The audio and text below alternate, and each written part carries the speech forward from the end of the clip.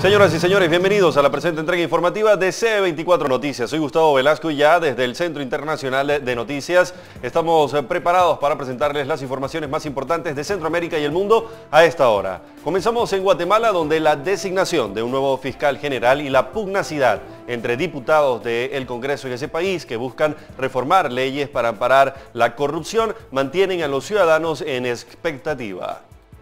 Luego que en las últimas horas la Comisión Extraordinaria que busca modificar el artículo 407 del Código Penal sobre el financiamiento electoral ilícito en el seno del Congreso de Guatemala presentara un nuevo borrador que, igual que otros dos papeles de trabajo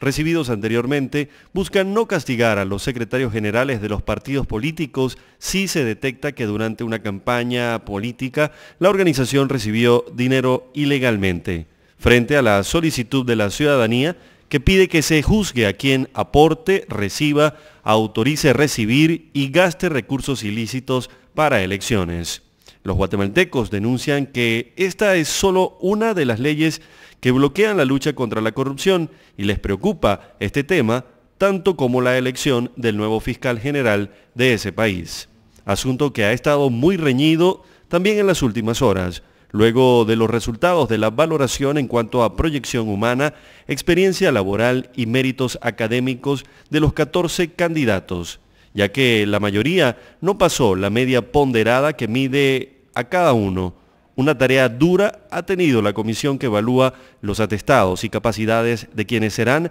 los seis finalistas de esta selección del sucesor de Telma Aldana.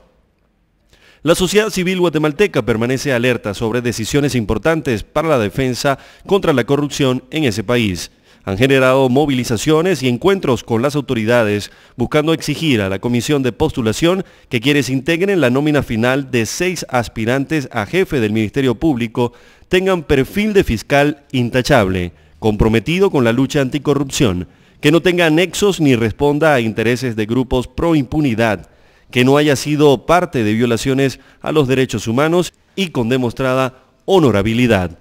Insisten en que quien suceda a Tel Maldana lidere la lucha por liberarlos de las mafias.